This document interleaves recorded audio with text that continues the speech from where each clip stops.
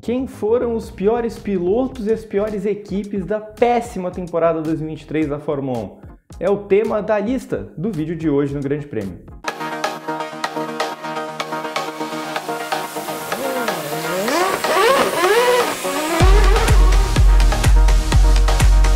Fala pessoal ligado no Grande Prêmio, tudo bem com vocês?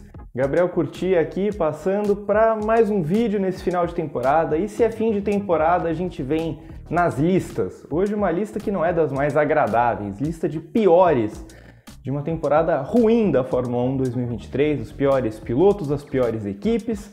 Antes da gente começar aquele pedido de sempre, deixem o like, se inscrevam no canal, ativem as notificações para vocês acompanharem todos os vídeos do Grande Prêmio, Grande Prêmio 1, Grande Prêmio 2, então lives, vídeos, análises, tudo completinho, transmissões, vocês acompanham por aqui. Se vocês quiserem também virem membros do Grande Prêmio e assim vocês ajudam ainda mais o nosso trabalho. Sem perder tempo, porque senão o vídeo vai ficar gigantesco, Vamos lá falar do, dos 10 piores, né? As 5 piores equipes, as, os 5 piores pilotos. Começando pelas equipes, e o meu quinto lugar é a Williams. Por que, que eu coloco a Williams na quinta posição, apesar dela ter sido a sétima no campeonato? Porque a Williams teve a melhor temporada dela desde do, de 2017, né? Então, a melhor temporada dela em meia década, basicamente. E isso é um copo meio cheio na, na confusão que foi o ano da Williams. Agora, o copo meio vazio, ele é muito impactante. A Williams teve um piloto só nessa disputa, só o Alexander Albon é, carregou a Williams o ano inteiro. É, o sétimo lugar não é bom, né? Porque você pode fazer a comparação da equipe de um ano para o outro, é justo, tem de ser feito, mas você tem de comparar também com as rivais. E a Williams ficou léguas atrás da sexta colocação, que foi a Alpine, que já não foi bem. É, então a Williams fechou o ano numa fase esquisita também. O Williams a nossa quinta colocada. Em quarto lugar, a AlphaTauri, é, que tinha cara de pior time durante boa parte do ano, né? A escolha de pilotos não foi boa, o Tsunoda não inspira muita confiança, ainda que tenha tido um ano regular. É, o Daniel Ricardo, que voltou, não fez grandes coisas também, né? Teve uma corrida boa e o resto na média ou abaixo disso. Mas o Nick De Vries, que foi o titular escolhido no começo do ano, muito mal. É, uma escolha que não fez o menor sentido. O Leon Lawson entrou no lugar dele, é, no lugar do Ricardo, né? Depois da lesão fez um bom trabalho, mas também teve prazo de validade curto, foi trocado quando o Ricardo voltou de lesão. Foi um ano muito ruim da AlphaTauri, só que eles cresceram no final, é inegável isso e, e, e fecharam com aquela filosofia de Red Bull 2.0. E aí eles tiveram resultados bons, colaram na Williams e tem tudo para ter um ano forte ano que vem. Terceira pior equipe do ano para mim é a Alpine.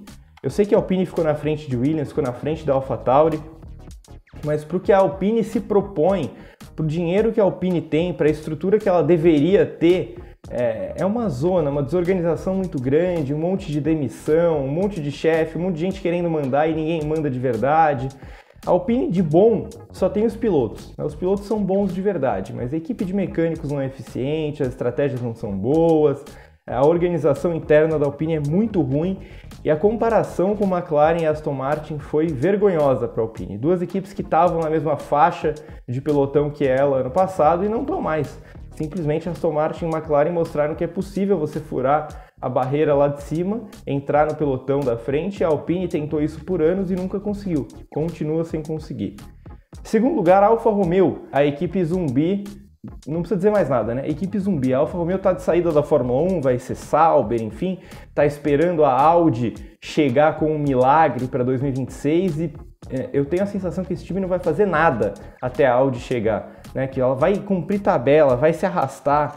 Os pilotos são a mostra disso também, uma pasmaceira danada, Guanyu Valtteri Bottas, não fazem nada de especial.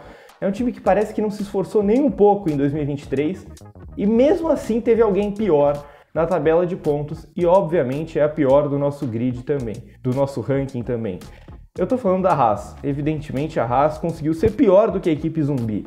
Né? E isso é, já é definitivo para a gente colocar ela aqui. A, a Haas praticamente não frequentou a zona de pontos. Ela foi salva por alguns é, resultados heróicos do Huckenberg, um em sprint, um em corrida, né, na Austrália e, e, na sprint da Áustria, que mudaram a sorte da Haas, porque era para a Haas ser lanterna com muito menos pontos, sei lá, 5 pontos, 6 pontos. Então é, é uma lanterna com, com 12 pontos que é mentirosa, é muito ponto porque a Haas fez no ano ou pelo que deixou de fazer. Então, Huckenberg bem, acho que é a grande notícia da Haas, mas a equipe como um todo muito mal, muito abaixo mesmo. Vamos falar dos pilotos então? É, o nosso top 5, obviamente algumas coisas vão convergir aí com o que a gente acabou de falar nas equipes, mas nem todos são das piores equipes aqui na nossa lista. A quinta colocação é do Guan Yu Zhou. É, a gente poderia fazer uma menção tranquilamente a pelo menos Kevin Magnussen e Valtteri Bottas. É, o Magnussen ficou muito abaixo do Huckenberg no campeonato e, principalmente em classificação, não acompanhou um companheiro de equipe que estava fora do grid por anos. É, e o Valtteri Bottas, cara, ele basicamente fez o mesmo ano que o Guan Yu Zhou, mas ele fez uns pontinhos a mais. Então por isso que ele não entra e o Guan Yu Zhou é o quinto lugar da nossa lista, né? Como eu falei, é, os dois são símbolos dessa pasmaceira, meio que pilotos zumbis da equipe zumbi. É, o Guan Yu Zhou foi aos pontos três vezes só no ano, né? Um resultado terrível.